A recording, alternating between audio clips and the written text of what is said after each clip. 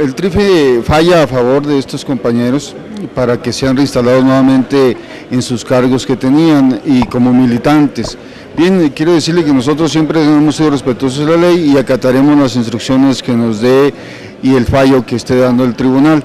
Lo único que sí puedo comentarles de que bueno, en esta situación los compañeros han hecho algunas eh, situaciones, uno fue liquidado, cobró como si fuera trabajador, no como si fuera alguien de la comisión ejecutiva y bueno, está su pago hecho ahí en conciliación de arbitraje donde él se deslindaba de cualquier trabajo o cualquier situación que pudiera tener el partido duranguense.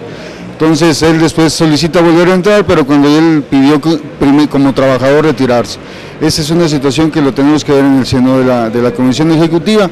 El otro compañero por ahí tiene algunas cuestiones de, eh, de, manejo de recursos donde se cobraron algunos cheques que no le correspondían a él. Bueno, eso ya lo tendremos que ver de manera eh, eh, directa con él ahí en el partido, en el seno de la Comisión Ejecutiva, y bien si que restituya este dinero y pueda tener acceso nuevamente al partido, a la Comisión Ejecutiva, pero también si hizo acreedor a una sanción y hoy con los nuevos estatutos que tiene el Partido Duranguense a partir del 11 de junio es sancionable y puede seguir el sancionado. ¿eh? ¿Qué, tan conveniente será que estas personas sigan trabajando? Pues, pues son muchos problemas. ¿no?